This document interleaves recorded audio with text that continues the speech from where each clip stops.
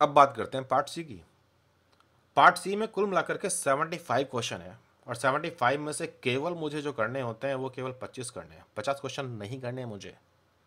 तो यहाँ एक सबसे बड़ा जो पहलू है बात का, एक तो नंबर है सो और चॉइस है बहुत बड़ी। तो अब जब तुम चॉइस बनाओगे तो चॉइस कैसे बनाओगे? पूरा क्वेश्चन पढ़ करके चॉइस बनाओगे या फिर क्वेश्चन को हल्का फुल्का देख करके अपनी चॉइस तैयार करोगे? सपोज़ करो कि मार्केट में चार नई मूवीज़ आई हैं और तुम्हें वो मूवी देखनी है कोई सी। एक मूवी देखना है तुम्हें और तुम वो देखना चाहते हो जो तुम्हें अच्छी लगे। तो तुम कैसे डिसाइड करते हो कि मुझे कौन सी मूवी देखनी है, कौन सी नहीं देखनी? पूरी पिक्चर देख करके तब डिसाइड करते हो कि भाई ये पिक्चर मुझे देखनी है या नहीं देखनी, या फिर तुम उसका ट्रेलर देख करके डिसाइड करते हो। पिक्चर तो होती है दो घंटे की ट्रेलर होता है दो मिनट का। तो अब इसी पैरामीटर को इस क्वेश्चन पे फिट कर दो सी में। जो क्वेश्चन है, उस क्वेश्चन को पढ़ने में जहाँ आपको लगते तीन मिनट आप उसे मात्र दो सेकेंड या तीन सेकेंड में ऊपर से नीचे तक देखो, उसमें वर्ड पकड़ो, जैसे डीएनए आरएनए इस तरह के वर्ड पकड़ो, ये ऐसे वर्ड जो तुम जानते हो, जो तुम्हारी तैयारी में आए थे पहले। और उसके बेस पर डिसाइड करो कि ये क्वेश्चन किस फ़ील्ड का होगा और इस क्वेश्चन को तुम पढ़ना चाहोगे या नहीं। तो 75 क्वेश्चन में जो पहली चॉइस हम बनाते हैं, वो तो इस बात की चॉइस बनाते हैं कि वो क्वेश्चन हम करना चाहते भी हैं या नहीं। तो जिसे हम लोग पिक करेंगे, उसे पढ़ेंगे और पढ़ के देखेंगे कि हम उसे कर सकते हैं या नहीं। जिसे पिक किया है, उसे करना ही पड़ेगा, ये कोई शर्त नहीं है। बट आप कभी भी 75 क्वेश्चन पूरे नहीं पढ़ते एग्ज़ाम में। टाइम ही कितना है यार। हमारी स्पीड इतनी ज़्यादा थोड़ी है कि हम इतना तेज पढ़ सकें। और मत बोलो सभी जगह नेगेटिव मार्किंग भी है। सेक्शन ए बी सी तीनों जगह। तो आप वो क्वेश्चन करना चाहते हो, जब चॉइस इतनी ज़्यादा अच्छी अवेलेबल है तो पच्चीस से पच्चीस क्वेश्चन ऐसे होने चाहिए, जिसमें एक भी क्वेश्चन गलत ना हो। तो चॉइस बहुत समझदारी से बनाओ। डर करके नहीं। डरोगे तो कुछ नहीं कर पाओगे। बहादुर होकर करो? क्वेश्चन छोटे पकड़ो। क्वेश्चन ऐसे पकड़ो जिसमें कैलकुलेशन ना हो। क्वेश्चन ऐसे पकड़ो जिसमें ग्राफ्स हो या प्लस माइनस वाली कहानी हो। तब आप समझ पाओगे कि मज़ा क्या है। अब जैसा ये क्वेश्चन है, काफ़ी बड़ा क्वेश्चन है। बट फिर भी ये क्वेश्चन पिक कर सकते हैं हम लोग, क्योंकि पहली बात क्वेश्चन के अंदर जो पूरी इन्फॉर्मेशन दे रखी है, अगर आप देखो तो इस पैराग्राफ में मुझे कहीं कोई नंबर्स दिखाई नहीं दे रहे। इसका मतलब इस क्वेश्चन के अंदर कहीं कोई कैलकुलेशन नहीं है। मोटे वर्ड्स हैं सोमेटिक सेल हाइब्रिडाइजेशन मतलब हाइब्रिडेशन की स्टोरी है कुछ ना कुछ। नीचे दे रखा है इन्होंने क्रोमोजोम्स एंजाइम दे रखी हैं सेल लाइन दे रखी है। तो शायद ये किस सेल के अंदर कौन सा एंजाइम प्रेजेंट है और वो एंजाइम किस क्रोमोजोम की वजह से वो ये बात कर रखी है। और फिर आगे हम ऑप्शन में ऑप्शन में उन्होंने क्रोमोजोम दे रखे तो इतना देख के हमें मालूम पड़ गया कि ये क्वेश इस क्वेश्चन में प्रोबेबली क्रोमोजोम को एंजाइम के साथ लिंक करना चाहते हैं कि कौन से क्रोमोजोम पर कौन सा एंजाइम है। पढ़ भी लेते हैं। Somatic cell hybridization is used to assign a gene to a particular chromosome पहली लाइन में लिखा हुआ है कि हम लोग जीन को असाइन करना चाहते हैं क्रोमोजोम के साथ कि ये जीन किस क्रोमोजोम पर है। जब इन्होंने दो सेल लाइन ली, दो डिफरेंट स्पेशीज को फ्यूज़ किया गया तो उससे एक हेट्रोकैरियन बना। हेट्रोकैरियन हम लोग हमेशा उन सेल्स के फ्यूजन्स को बोलता है जिसमें दो अलग अलग स्पेशीज के न्यूक्लियस हो which tend to lose chromosomes as the divide ये सेल्स जब भी कभी डिवाइड करना शुरू करेंगे तो एक स्पेशल क्रोमोजोम गायब होते आते हैं। A panel of cells was created from bounce monkey somatic cell fusion एक, उन्होंने इस तरह की मल्टीपल सेल तैयार कर ली माउस और मंकी की फ्यूज करा करके, और हर लाइन को एग्जामिन किया गया मंकी क्रोमोजोम्स के लिए। अब इसमें क्या है कि मंकी क्रोमोजोम दे रखे हैं एक से लेकर दस तक।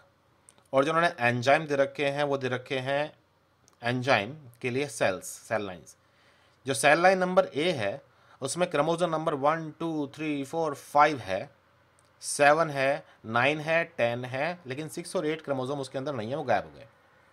एंजाइम है इसके अंदर। अब ये सोच के देखो सपोज़ तुम्हारे कमरे में तुम्हारी मेज के ऊपर सौ रुपये रखे हुए थे। तुम नहाने के लिए गए बाहर आए तो सौ रुपये गायब। कहाँ गए? तुम्हारे कमरे में कोई आया नहीं, कोई गया नहीं।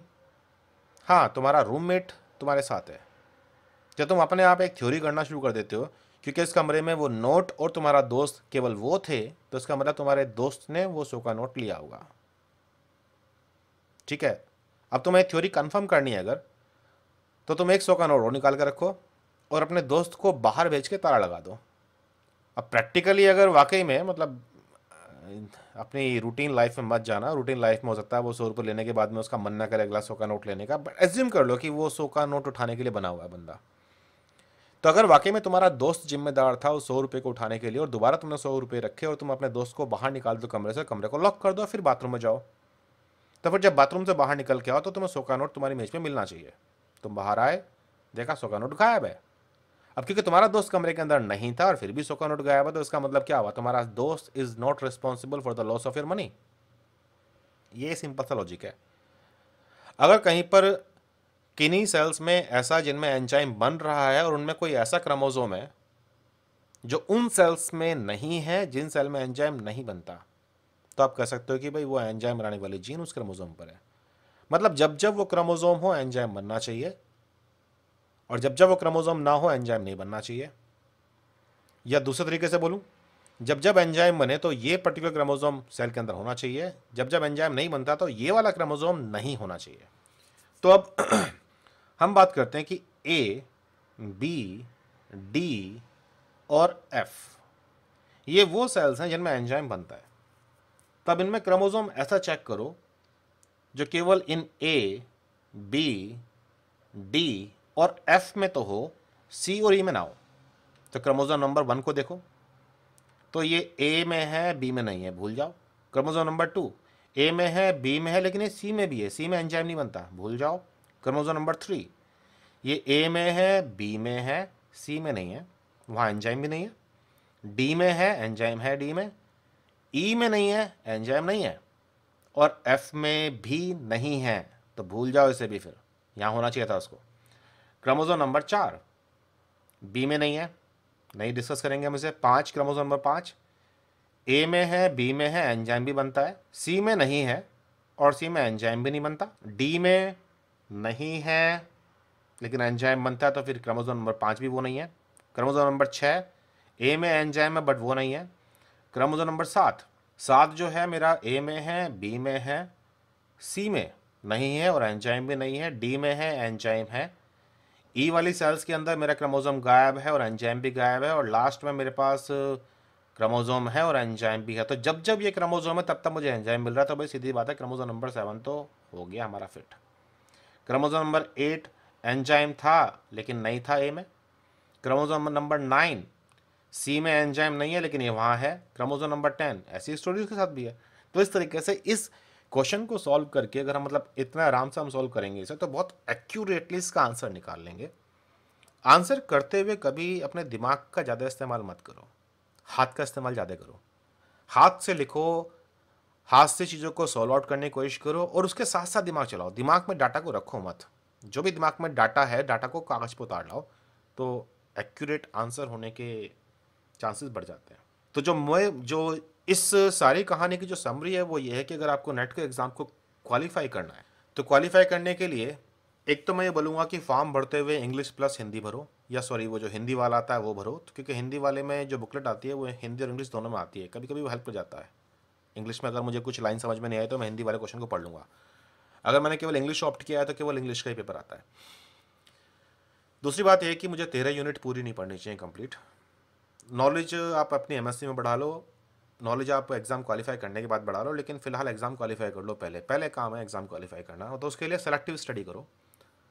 कभी भी 145 क्वेश्चन के लिए तैयारी मत करो। क्वेश्चन आप पचहत्तर करना चाहते हो तो आप 80 के लिए तैयारी कर लो या 90 के लिए तैयारी कर लो बट 145 मतलब पूरा सिलेबस पढ़ने चक्कर मत पढ़ो केवल उन टॉपिक्स को पढ़ो जो एग्ज़ाम के लिए सबसे प्रोबेबल है, और उन टॉपिक्स में केवल उतना पढ़ो जो एग्ज़ाम में पूछा जाता है। एग्ज़ाम के टाइम पर अपनी चॉइस को स्मार्ट बनाओ। क्वेश्चन को जल्दी से पिक करना सीखो।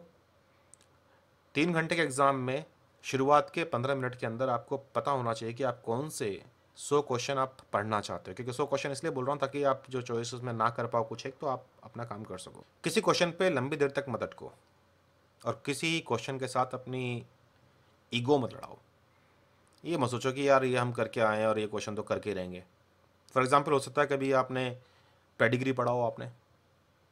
दस दिन लगातार, और आपको लगता है कि बस पेडिग्री तो आप कर ही लोगे। और फिर एग्ज़ाम में कुछ ऐसा क्वेश्चन आया कि आप नहीं कर पा रहे उसको तो उसे इज़्ज़त पे लेके मत जाओ अपनी। छोड़ो, आगे बढ़ो। कई बार क्वेश्चन ऐसे भी आ जाते हैं, जो क्वेश्चन आप पढ़ के नहीं गए थे, और वो क्वेश्चन इतने सिंपल लिखे हुए कि आप उसे कर सकते हो। तो दिमाग को ओपन रखो अपना। शेयर बन के काम करो। छोटे क्वेश्चन कम कैलकुलेशंस या बिना कैलकुलेशंस और फास्ट आई होप अगर आप इन चीज़ों को फॉलो करोगे तो आप भी मेरी तरह multiple time NET exam qualify कर सकते हो। मैं इन एग्ज़ाम्स को काफ़ी बार क्वालिफाई कर चुका हूँ। तो मैं, मुझे लगता है कि मैं अच्छी तरह से समझा सकता हूँ तो मैं किस एग्ज़ाम को क्वालिफाई करने के लिए क्या गाइडेंस चाहिए। इंडियड इस तरह के और वीडियोस मैं पोस्ट करूँगा, जिसमें मैं कुछ क्वेश्चनों को करके सॉल्व कैसे करते हैं वो भी सिखाऊँगा ट्रिक्स कुछ एक, इसलिए इस चैनल को आप सब्सक्राइब कीजिए प्लस इन वीडियोस को साथ में शेयर कीजिए अपने फेसबुक व्हाट्सएप ग्रुप के ऊपर। और कोई सजेशंस हों तो मुझे मेल पर लिख सकते हैं। Sapling एजुटेक at the rate Gmail dot com या फिर, इस वीडियो के कमेंट में आप अपनी जो भी आपके सजेशंस हैं वो डाल सकते हैं। Thank you